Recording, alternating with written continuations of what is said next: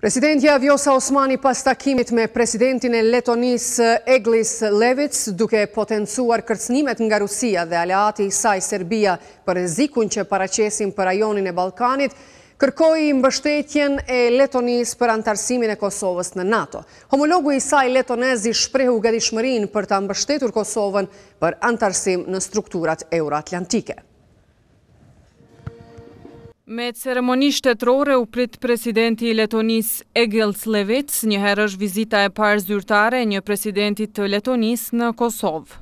Pas takimit mes dy presidentësh, në konferencë të përbashkët për media, presidentja Vjosa Osmani tha se Rusia dhe aleati i saj Serbia paraqesin rrezik për rajonin ballkanik. Kërkoi mbështetje për anëtarësimin e Kosovës në NATO.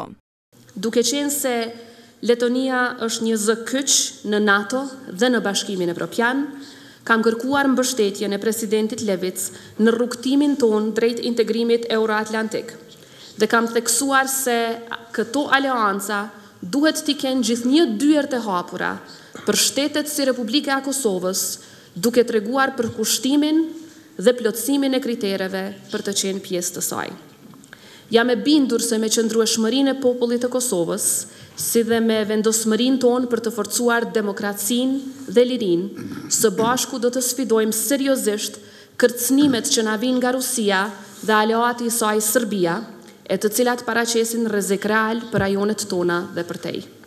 Dy vendet tona ndajnë të kaluar të dhimbshme, Por nëse qëndrojmë të bashkuar, jam e bindur në suksesin tonë në luftën kundër tiranisë dhe autokracisë e si të tillë do të gëzojmë së bashku një të ardhme shumë më të mirë brenda Bashkimit Evropian. Presidenti i Letonisë Egils Levits shprehu gatishmëri për të mbështetur Kosovën në rrugën euroatlantike.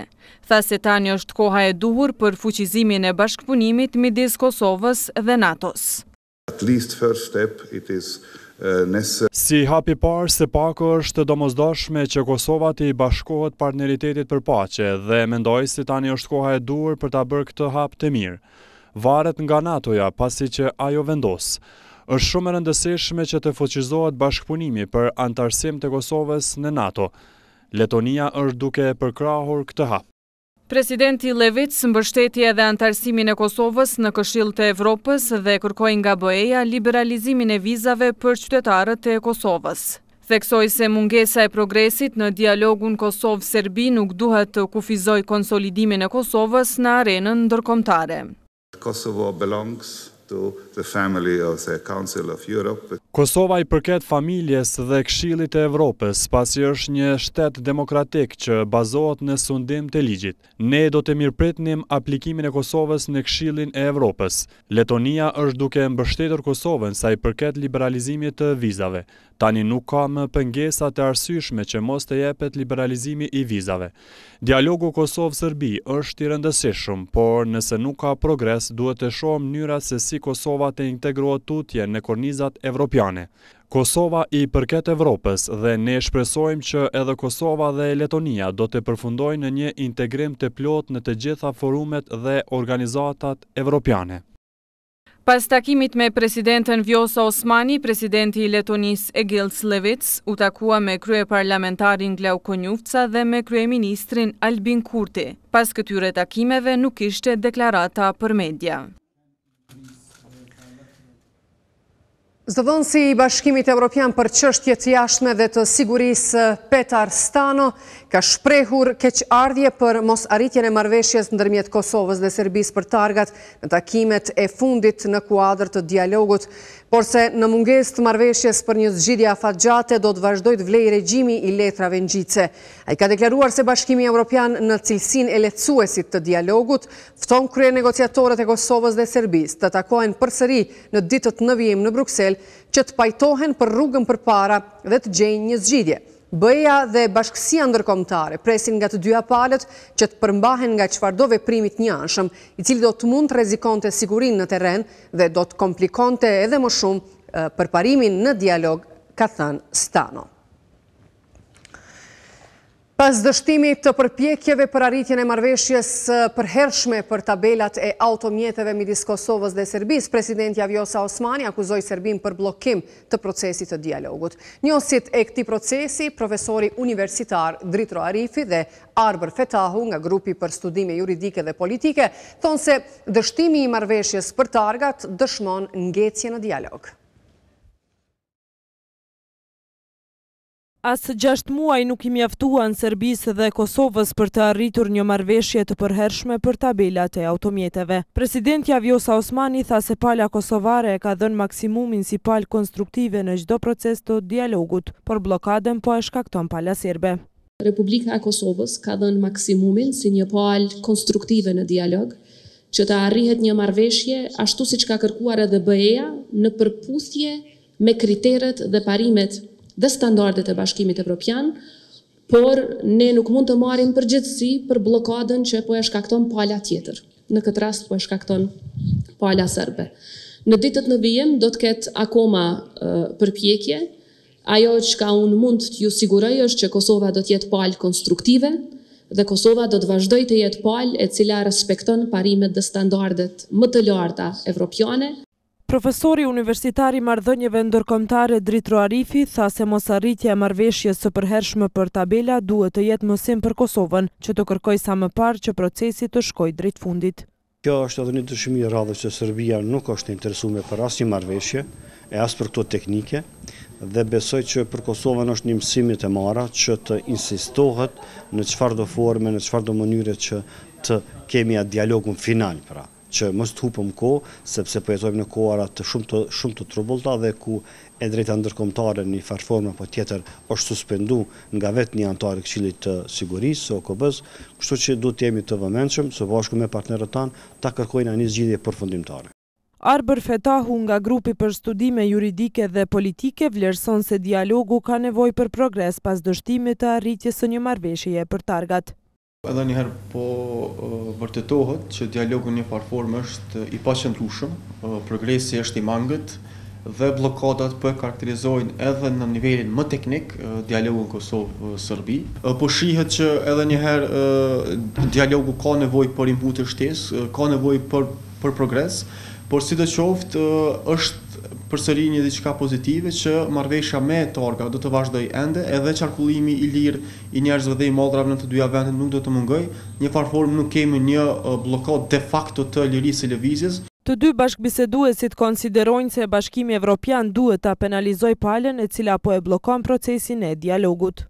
Dëshmia e radhës është që Bashkimi Evropian apo fasilituesi në këtë rast nuk po i ka mekanizmat dhe fuqinë që të ndërmerrë hapa apo të sanksionojë palët të cilat nuk janë konstruktive në dialog. Dhe kjo i bie që Bashkimi Evropian mund të vazhdojë ta përkëdhelë Serbinë, kjo është çështje tjetër, por ata çka duhet të bëjnë, ta balancojnë palët, apo t'i bëjnë të barabarta, duhet ta njohin Republikën e Kosovës si shtet të pavarur. Besoj që BE-ja duhet të jetë pak më rigoroze në kuptimin që t'i detyrojë palët të arrijnë një marrëveshje dhe cila palë nuk është e gatshme për të arritur një marrëveshje përfundimtare, pak a shumë edhe të ketë një lloj penalizimi, qoftë në dialog apo procese tjera, pasi që ato dakordime, sidomos për të nivelit teknik, duhet të shtyhen tutje për ta zhbllokuar procesin më tutje. Në fund të shtatorit dy mijë e njëzet e një, për të ndaluar bllokadën trembëdhjetë ditore në pikat kufitare Jarinjë dhe Bërnjak, të organizuar nga qytetarët serbë të veriut të Kosovës dhe të mbështetur nga Beogradi, u arrit një marrëveshje e përkohshme për tabelat e automjeteve. Në bazë të kësaj marrëveshjeje, simbolet shtetërore të të dy shteteve janë mbuluar në tabelat e veturave që nga katër tetori dy mijë e njëzet e një. Shtetasit e Kosovës dhe të Serbisë vazhdojnë me avazin e vjetër të mbulimit të simboleve shtetërore në tabelat e automjeteve të tyre në pikëkalimet kufitare ndërmjet dy shteteve, duke humbur kohë për këtë procedurë si pasojë e mosarritjes së marrëveshjes përfundimtare për tabelat. Mosarritja e marrëveshjes përfundimtare ndërmjet Kosovës dhe Serbisë për targat ka bërë që edhe tutje të mbetet në fuqi mbulimi i simboleve shtetërore me letër ngjitëse në targat e të dy shteteve gjatë kalimit në pikat kufitare. Qytetarët që vinin nga Serbia në Kosovë ndërmjet pikëkalimit kufitar në Merdare, thonë se po respektojnë marrëveshjen në fuqi. Vazhdojmë tutje me mbulimin e simboleve shtetërore me letër ngjitëse. Letrat ngjitëse mbi simbolet shtetërore do t'i ngjesim në tabelat e automjeteve derisa jemi të detyruar. Natyrisht që ne e respektojmë marrëveshjen midis dy shteteve për mbulimin e simboleve shtetërore në veturat tona. Po, jemi mësuar tashmë t'i ngjesim letrat mbi simbolet shtetërore. Kosova dhe Serbia nuk u pajtuan për zgjidhjen e përhershme të çështjes së targave as në takimin e së enjtes në Bruksel, duke akuzuar njëra-tjetrën për mungesë gatishmërie për arritjen e kësaj marrëveshjeje.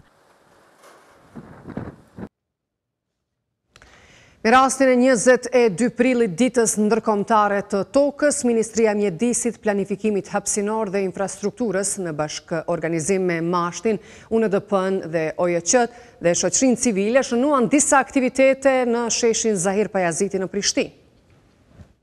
Faleminderit për këtë atmosferë. Me rastin e njëzet e dy prillit, Ditës Ndërkombëtare të Tokës, u zhvilluan një varg aktivitetesh për mbrojtje të mjedisit. Ministri i Mjedisit, i Planifikimit Hapësinor dhe Infrastrukturës, Liburn Aliu, tha se mjedisi është ndotur dhe po vazhdon të ndotet në masë të madhe.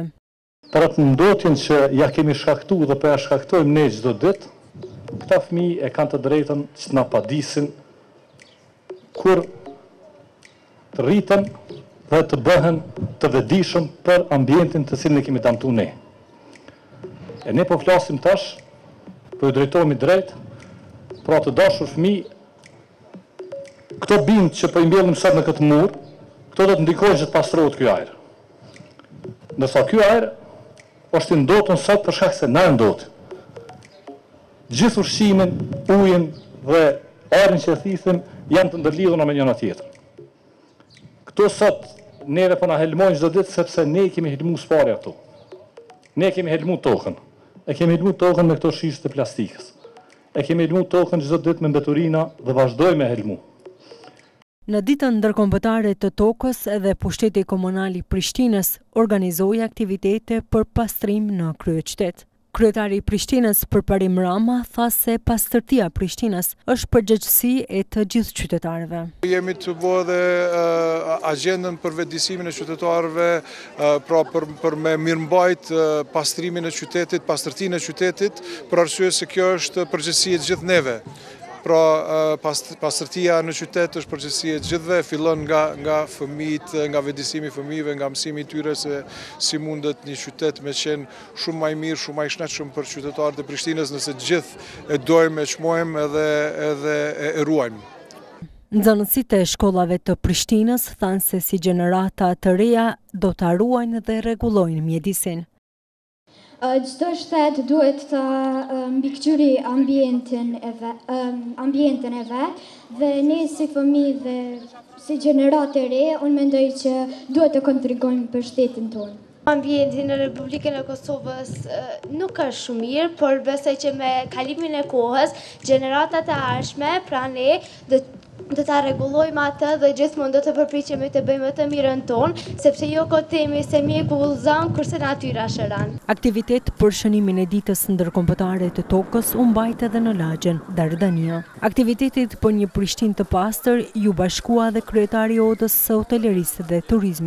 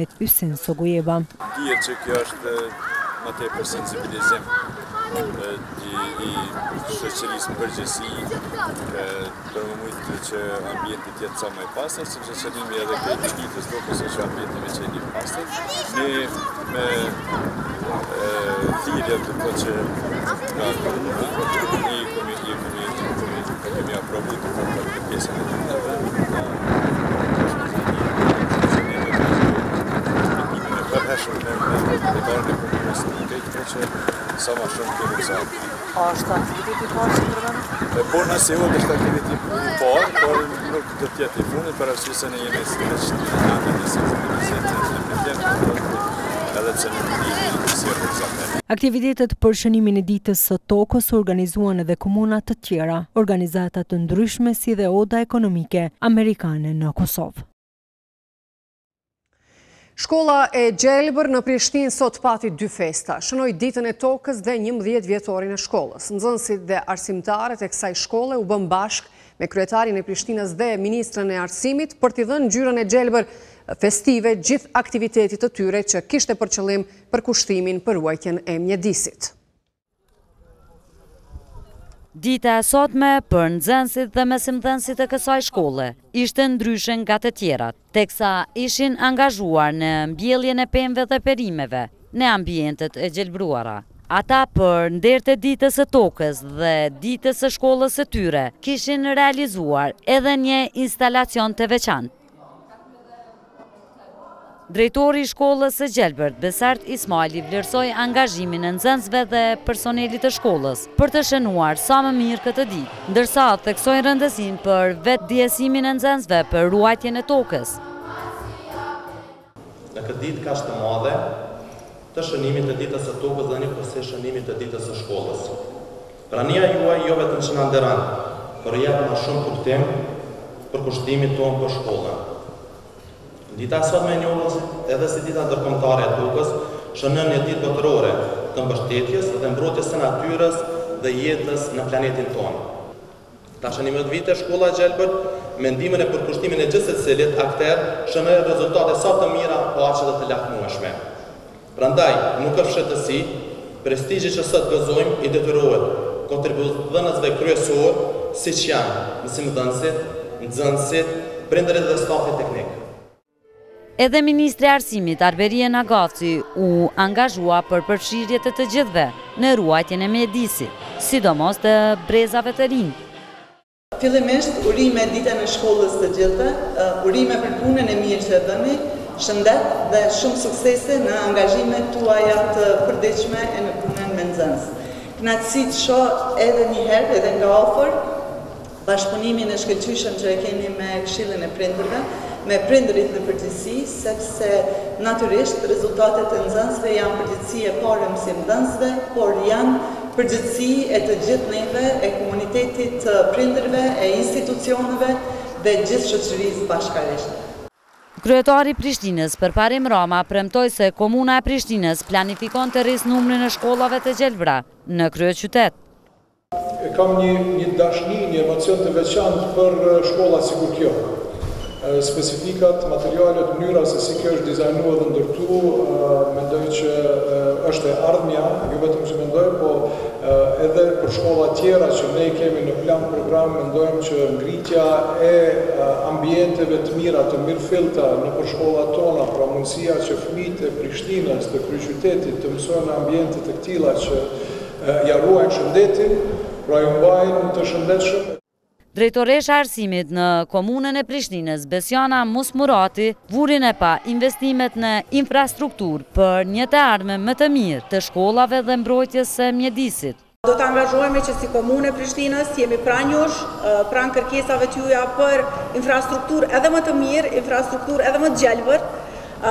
Dhe do të jemi pranë sepse vetëm së bashku mund t'ia dalim. Lorik Muçaj nga Green Art Center bën apel për qasje më të mirë ndaj tokës. Duajeni tokën çdo ditë, e në veçanti përkrahni klubet e gjelbërta, nxënësit që tashmë janë në gjitha shkollat, përkrahni dhe merrni idetë e tyne, përvetësoni si prind dhe si shoqëri. Dita e Tokës për herë të parë është shënuar në vitin një mijë e nëntëqind e shtatëdhjetë, ndërsa vazhdon të kujtohet çdo vit në gjithë botën me njëzet e dy prill, për t'i dhënë mbështetje mbrojtjes së mjedisit. Kryetari i Lidhjes Demokratike të Kosovës, Lumir Abdixhiku, këmbëngul në themelimin e Komisionit për Hetimin e Menaxhimit të Krizës së Energjisë. Pas mbledhjes së kryesisë së LDK-së, kryetari i kësaj partie, Lumir Abdixhiku, në konferencë për media, i dërgoi mesazh qeverisë se nuk do të lejojnë fshehjen e krimit gjatë krizës energjetike. Arsyetimet e kota të pushtetit për çështje ligjore rreth themelimit dhe të pavërteta dhe të pasakta s'mund ta ndalin këtë komision. Unë i dërgoj mesazh të qartë kësaj qeverie dhe njerëzve të përfshirë, krimi, nëqoftëse ka ndodhur, dhe tentoni ta fshehni me mosvotim të komisionit hetimor, nuk do të fshihet. Ai mbetet aty. Herët apo vonë do të mirremi me këtë çështje. E ftoj pushtetin që të zhbllokojë këtë të drejtë kushtetuese të opozitës.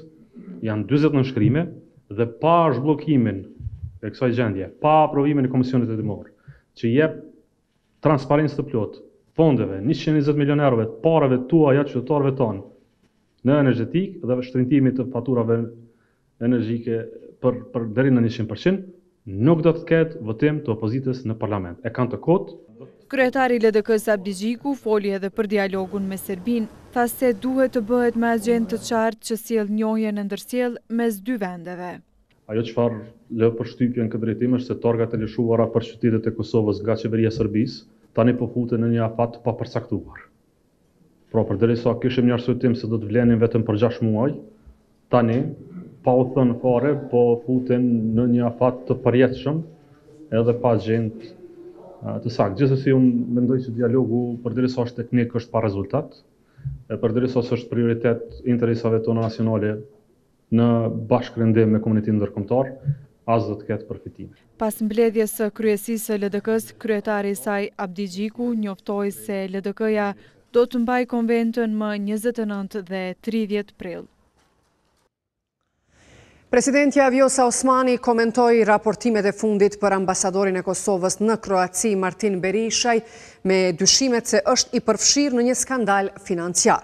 Mediat sllovene e përfshinë Berishaj në një skandal të madh financiar në cilin thuhet se ka bartur gjashtëqind mijë euro para të gatshme nga kompania e tij në Mal të Zi te politikani slloven, kryetar i Partisë së Lirisë Robert Golob. Dua ta potencoj atë që e them vazhdimisht.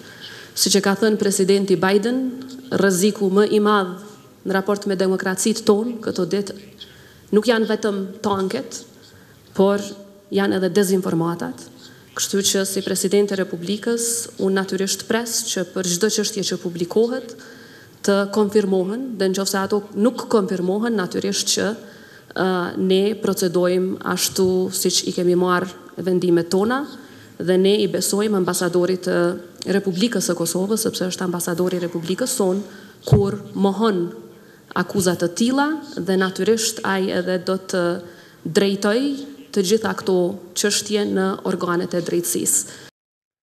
PDK-ja reagoi pas raportimit në media për dyshimet për përfshirjen e ambasadorit të Kosovës në Kroaci, Martin Berishaj, siç thuhet, në një skandal financiar për blerjen e energjisë në Slloveni. E ndjekim deklaratën nga konferenca për media e shefit të grupit parlamentar të PDK-së Abelard Tahiri. Del në pah që kjo kompani po ashtu gjatë kësaj periudhe së fundit dy vjeçare, kur në KEK është vendosur një menaxhment i ri nga qeveria Kurti I dhe kanë vazhduar me qeverinë Kurti II, kanë bashkëpunuar me këtë kompani dhe kjo kompani, pra kompania Gen, dega saj në Serbi, i ka shit Republikës së Kosovës energji elektrike dhe po ashtu ka ble energji elektrike nga Republika e Kosovës. Pra kjo është jashtëzakonisht skandaloze. Pra ambasadori ynë shërben si një sekser i kryeministrit tonë mes tij dhe mafies serbe energjetike, zbulimi i kësaj afere mbrëmë në orët e vona dhe kur po vazhdon në çdo orë po dalin dokumente dhe çështje të reja nga pikërisht nga kjo aferë, e bën të domosdoshëm themelimin e komisionit hetimor. Ne dojmë me pa, se sa përqind të këtyre mjeteve të ndara nga buxheti i Kosovës, taksa të qytetarëve të Kosovës, mbi njëqind milionë euro, sa përqind prej tyre ka përfitu kompania Gen me bazë në Serbi, në cilën ambasadori jonë shërben si këshilltar.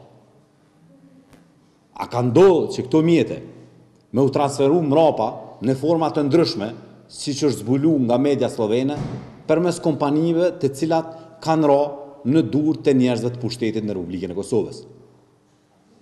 Prandaj, ne sot shohim që vërtet bllokimi i themelimit të Komisionit Hetimor për të hetu, për të ndodh një hetim parlamentar mbi çdo shpenzim që ka ndodh në blerjen e energjisë elektrike, në shitjen e energjisë elektrike, qenka një ndërmarrje e madhe kriminale mbrapa këtij kundërshtimit.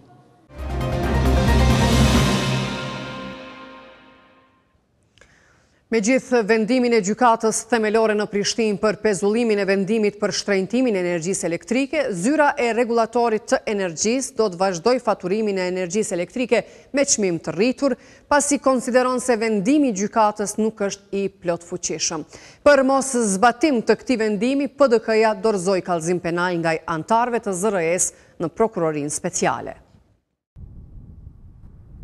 Janë bërë dy javë që kur Gjykata Themelore në Prishtinë vendosi për pezullimin e vendimit të Zyrës së Rregullatorit për Energji për shtrenjtim të energjisë elektrike pas padisë së Partisë Demokratike të Kosovës. Por ky aktvendim i Gjykatës ende nuk është zbatuar nga Zyra e Rregullatorit për Energji. Lidhur me moszbatimin e vendimit të Gjykatës Themelore për pezullimin e vendimit për shtrenjtimin e energjisë elektrike, kontaktuam me zyrtarë të Zyrës së Rregullatorit për Energji, por që nuk deshën të flasin për këtë çështje para kamere. Thanë se vendimi për shtrenjtimin e energjisë elektrike do të vazhdojë të mbetet në fuqi edhe më tej.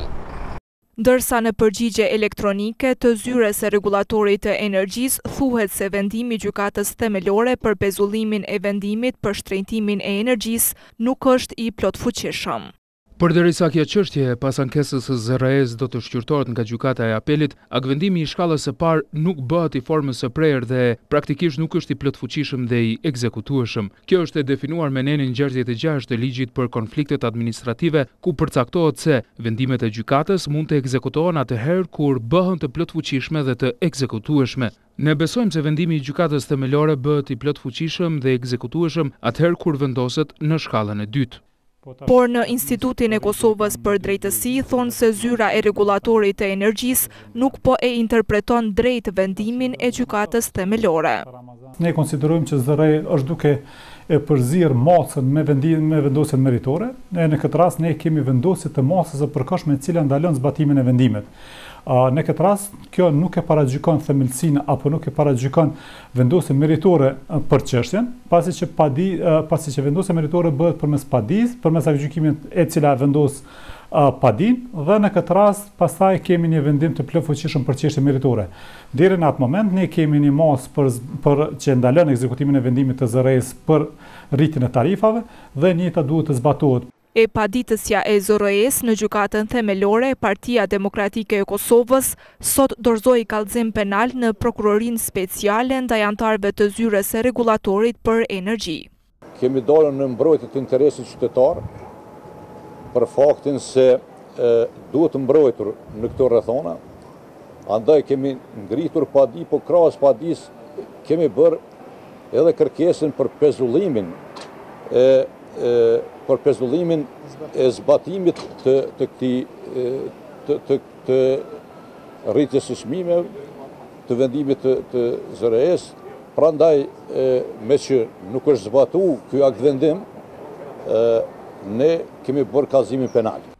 Qytetarët ankohen për faturat e larta të energjisë elektrike, kërkojnë nga ZRRE-ja tërheqjen e vendimit për shtrenjtim të energjisë elektrike. Shtrejt vallë është. ZRRE-ja duhet me ngu pak popullin, nuk është veç që shë janë rogë këtu të na. Ballë në ka orë, ballë për po pagujna, që që ta është i dharë 200 euro. Qa me bo? S'e zbaton ligjin, don shtin burg. Burg përshka i së të. Në së përsa të. Po ata kanë shku përmi 800, 800 tash verës nuk e ashtë gjisim. Farë vendimi që të bjen gjyqësori, mendoj që duhet me u respektu. Sipas avokatit mbrojtës të PDK-së, Faton Fetahu, të gjithë qytetarët mund të padisin institucionet e energjisë në momentin që pranojnë faturën me çmim të rritur. Kanë të drejtën, kanë bazën ligjore që në mënyrë individuale të padisin KESCO-n, KEDS-in dhe Zyrën e Rregullatorit të Energjisë për faktin e tarifimit të shtrenjtë, sepse ky tarifim, ky vendim i ZRRE-së nuk është në fuqi rrjedhimisht Tarifimi nuk ka bazë ligjore. Njëjtë vlerësojnë edhe në Institutin e Kosovës për Drejtësi. Vendimi i ZRRE-së dhe tarifat e larta nëse vijnë atëherë vijnë mbi një vendim të kundërligjshëm dhe çdo vendim i kundërligjshëm nuk prodhon efekt juridik. Kështu që edhe qytetarët mund të ngrejnë padi për kompenzimin e dëmit që ju bëhet prej një vendimi të kundërligjshëm. Ne shpresojmë dhe besojmë që ZRRE-ja duhet të reflektojë, çdo vendim i gjykatës duhet të respektohet, Çmimet e reja të energjisë elektrike kanë hyrë në fuqi më nëntë shkurt të këtij viti. Në vazhdim të gjykimit të Salih Mustafës në Hagë në mbrojtje të të akuzuarit dëshmoi Selatin Krasniqi, i cili tha se në objektet e familjes së tij në Zllashë, të cilat i ishin dhënë në shfrytëzim Ushtrisë Çlirimtare të Kosovës, nuk ka pasur persona të ndaluar siç thuhet në aktakuzën e prokurorisë.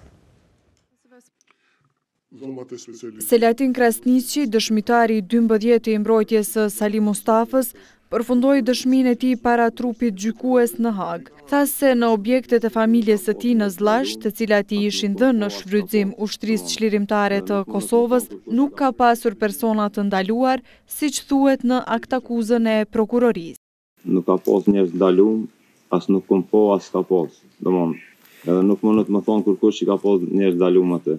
Dëshmitari Selatin Krasniqi tha se gjatë periudhës së luftës të gjithë pjesëtarët e UÇK-së e kanë pasur një qëllim të vetëm, çlirimin e Kosovës. Sipas tij nuk ka pasur dallime partiake. Shefki Gashi, që jem krenar që e kem, është i fshatit Mramor, ka qenë edhe ai pjesë e luftës. Ismet Beqirin e kam në lagje, edhe ai ka qenë një ndër themeluesit e LDK-së për atë pjesë. E ka pas shumë të tjerë të Lidhjes Demokratike të Kosovës edhe aty, e s'ka pas kurrfarë bindje, domon, qëllimi u kon i njëjtë, me çliru Kosovën. Nuk e di kush kush është kah i shpikë këto sene, se i vetmi qëllim u kon çlirimi i Kosovës. Nuk ka pas bindje politike me cilën parti e me kënd je kah hi. Gjatë kundërpyetjeve të avokatit të mbrojtjes, dëshmitari Krasniqi u pyet edhe për takimin që ka zhvilluar në Zllash me përfaqësuesit e Prokurorisë Speciale. Kam bisedu me prokurorin, vetëm e kom pyet qysh janë Sali Mustafa e këta tjerë që janë, Hashimi, Kadrija, veç për ata e kom vet, a janë mirë, me shëndet, ma shumë s'kena diskutu. Kom nejt me këta hiq kom nejt te hambari se u kon tu ra shi këta kan nejt te ajo pemë aty ku është ku duket në fotografi kan fotografue ktu s'kena fol edhe u kon shum vet këta. Ndërsa dëshmitari i trembëdhjetë i mbrojtjes së Sali Mustafës, Muhamet Ajeti, para trupit gjykues në Hagë tha se Sali Mustafën e njeh nga tetori i vitit një mijë e nëntëqind e nëntëdhjetë e tetë, por nuk e ka takuar asnjëherë në Zllash, por në Koliq. E kam taku Sali Mustafën në tetor, diku në nëntëdhjetë e tetës në Prishtinë. E kam taku qat ditë kur kena dashtë me ik prej Prishtine, me lëshu Prishtinën, jo me ik. Edhe me të plagostë e kam taku në fshatin Koliq, periudhës të luftës. Kur kemi kanë tu i dërgu të plagosët, e aty e kam taku në Koliq. Koliq kur e kam taku mendoj që u ka njëzet e një ose njëzet e dy prill. Kemi mbrri në Koliq me të plagosur, ky ka ardh domonë aty.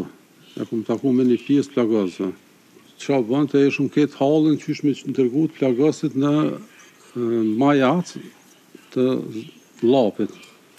Qa është hall edhe e di që domon ka kërku sa ma shpejt me i nis plagosit edhe dikush që e din rrugën edhe ni kon jon prej tyne se kom lëviz e kom qëndru në Majac edhe unë kom domon me disa ushtarë i kemi marrë plagosit Salih Mustafa u arrestua me pretendimin për krime lufte më njëzet e katër shtator të vitit dy mijë e njëzet dhe prej atëherë po qëndron në paraburgim në Hagë.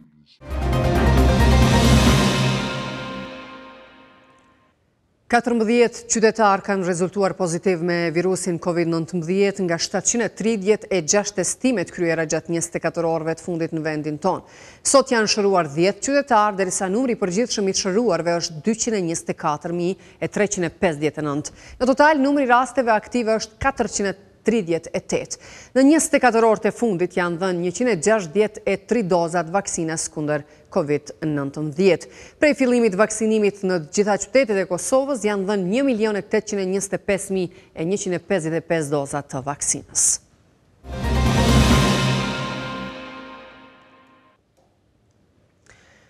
Fundjava sjell takimet e xhiros së 30 të Superligës së Kosovës në futboll. Tri ndeshjet zhvillohen shtunën dhe çiftet janë: Drita Malisheva, Ulpiana Ballkani dhe Feronikeli Llapi, kurse të dielën zhvillohen takimet Dukagjini Gjilani dhe Prishtina Drenica.